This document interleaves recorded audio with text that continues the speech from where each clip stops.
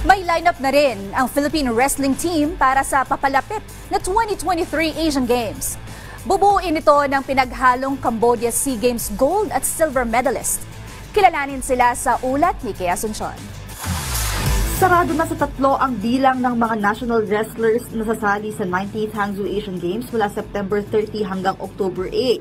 Ayon kay Philippine Wrestling Team Assistant Coach Efrelin Calitis, lalaban rito sina 2023 Cambodia Southeast Asian Games gold medalist na si Ronil Tubog at Alvin Lobrequito at silver medalist na si Gia Pingot. Si Coach Tina Vergara po kasi sa play ko. Sa babae kasi siya yung nag sa. Pero si Gia kasi mas mas bata, mas younger than Coach Tina. So, siya po yung pinadala. And then, si Jason Balabal, hindi kasi siya, hindi siya available. So, yung dalawa talaga yung priority na gold medalist, which is Alvin Duplicato, si um, Ronil Tub. Kasi Greco yung, ano eh, Greco yung style ni Jason.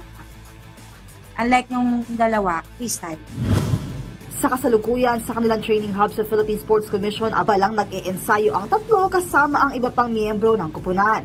Pero ayon kay Kalitis, sa pagtatapos ng buwan ay nakatakdang magkaroon ng training camp sa Kazakhstan ang tatlo.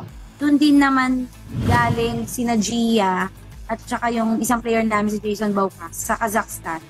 Kasi yung president din ng Asian ah, Federation namin, which is taga Kazakhstan, doon din po yung base Tsaka marami rin naman po mga ibang athletes na doon nag Sa kasaysayan ng Asian Games, wala pang naiuuwing medalya ang national wrestlers.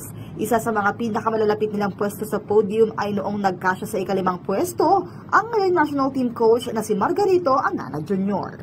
Kaya Asuncion, PTV Sports.